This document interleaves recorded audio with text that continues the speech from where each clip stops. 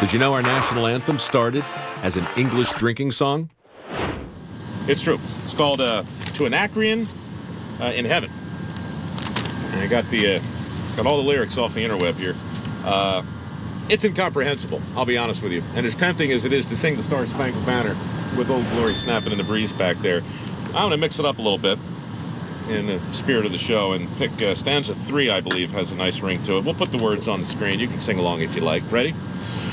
Oh, the yellow haired god and his nine lusty maids from Helicon's banks will incontinent flee. Well, my thunder, no fear, aunt, shall soon do its errand, and damn, I will swing the ringleaders, I warrant.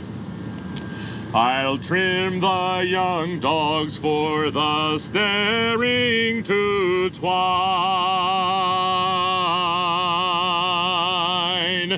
The myrtle of Venus with Bacchus's wine. That's about as weird as it's going to get, honestly.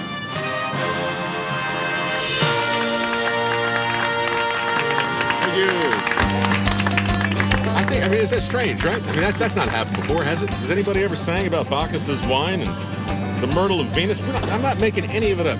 Hey, the yellow-haired god and his nine lusty maids. You got a god with yellow hairs with nine sluts around him. My thunder, no fear.